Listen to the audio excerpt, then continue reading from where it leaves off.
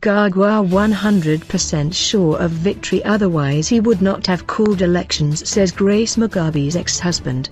President Emmerson Mnangagwa is 100% sure of victory in next month's election otherwise he would have not have the elections, Stanley Goreraza, the former husband of Zimbabwe's former First Lady Grace Mugabe, said. http colon slash slash www.pazimbabwe.com slash wp content slash uploads slash 2018 slash 03 slash Emmerson Mnangagwa Zimbabwe Vice President E787 by 548.jpg I'll repeat what I have said many times. Emmerson Mnangagwa will never go for an election without strong assurances from the intelligence services that he is without doubt going to definitively win that election, he said on his Facebook page.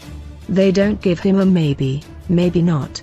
They give him an affirmative yes, he said.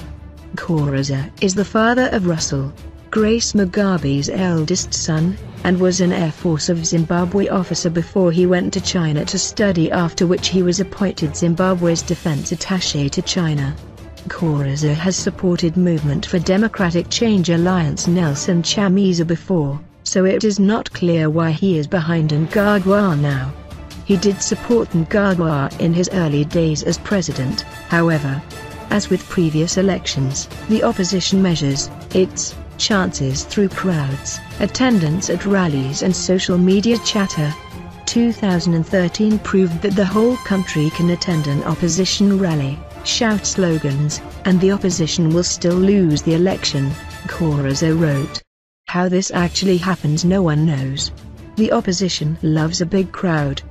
But big crowds don't win elections and how do we know this? Number 2013 the opposition claims that the 2013 elections were stolen and is currently battling it out with Zimbabwe Electoral Commission Chief Priscilla Chigumba for failing to provide them the voters' roll. Chamisa's presidential election agent Jameson Timba today said the opposition might boycott the elections if Chigumba continues with her arrogance. With more than 23 parties contesting the elections, it is not clear whether the boycott would succeed or not though the MDC alliance is the main contender.